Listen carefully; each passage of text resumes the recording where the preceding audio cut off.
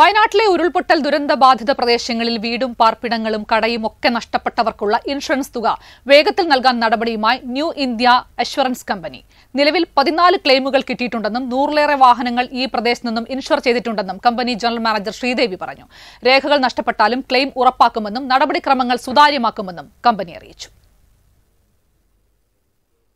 ഉരുൾപൊട്ടലുണ്ടായ മുണ്ടക്കൈ ചൂരൽമല പ്രദേശങ്ങൾ വിദഗ്ധ സംഘത്തിന്റെ പരിശോധന ഒരു ഭാഗത്ത് തുടരുകയാണ്. തെരച്ചിലും മറുഭാഗത്തുണ്ട്. ഇപ്പോൾ എന്നോടൊപ്പം ന്യൂ ഇന്ത്യ ഇൻഷുറൻസ് കമ്പനിയുടെ ജനറൽ മാനേജർ ഉൾപ്പെടെയുള്ള അവരുടെ സംഘം ചേരുന്നുണ്ട്. എത്രത്തോളം കമ്പനിക്ക് സഹായിക്കാൻ കഴിയും അത്രയും ചെയ്യണം എന്നുള്ള ഒരു ഉദ്ദേശത്തോടു കൂടിയാണ് നമ്മൾ എത്തിയിട്ടുള്ളത്.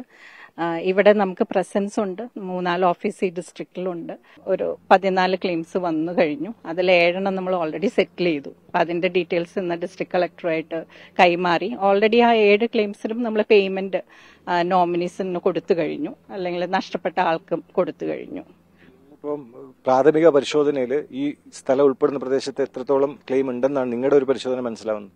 നമുക്ക് ഇപ്പം ആർ ടി ഒ വഴി ലിസ്റ്റ് തന്നത് ഏകദേശം നൂറോളം വെഹിക്കിൾസ് നമുക്ക് ഈ ഒരു കവർ ചെയ്തിട്ടുണ്ട്. ഇനി അതിൽ നമ്മൾ കണ്ടുപിടിക്കണം. വീടുകൾ എടുക്കുവാണെങ്കിൽ അതിന്റെ ഡോക്യുമെന്റ്സ് ഒന്നും ഉണ്ടാവില്ല. അപ്പൊ നമ്മൾ സർവേ ചെയ്ത് അത് നഷ്ടപ്പെട്ടു എന്ന് ബോധ്യപ്പെടുത്തിയ ഉടനെ തന്നെ അതിന്റെ ക്ലെയിം സെറ്റിൽ ചെയ്യാം. ഡിസ്ട്രിക്ട് അഡ്മിനിസ്ട്രേഷൻ നമുക്ക് മരിച്ചുപോയവരുടെ ലിസ്റ്റ് ഓൾറെഡി തന്നിട്ടുണ്ട്. അപ്പൊ അതിൽ നമ്മൾ ഇൻഷുർ ചെയ്ത വ്യക്തികൾക്ക് അവരുടെ നോമിനിയെ കണ്ടുപിടിച്ച് സെറ്റിൽ ചെയ്യാം. ഇനി നോമിനി ഇല്ല എന്നുണ്ടെങ്കിൽ നമ്മൾ ഏറ്റവും അടുത്ത ബന്ധുമിത്രാദികൾ അവർ ഗവൺമെന്റ് പറയണ അവർക്ക് പേയ്മെന്റ് ചെയ്യാനാണ്. ഉദ്ദേശിക്കുന്നത്. സാധാരണയിൽ നിന്ന് വ്യത്യസ്തമായി വലിയ ഏതെങ്കിലും തരത്തിലുള്ള രേഖകൾ നഷ്ടപ്പെട്ടാൽ പോലും അത് വലിയൊരു കാര്യമാക്കി എടുക്കില്ലെന്നാണ് ഇവർ പറയുന്നത്. ജില്ലാ ഭരണകൂടവുമായി സംസാരിച്ചും പ്രദേശത്ത് സന്ദർശിച്ചിട്ടും ഇവർ ഈ നടപടികളുമായി മുന്നോട്ട് പോവുകയാണ്.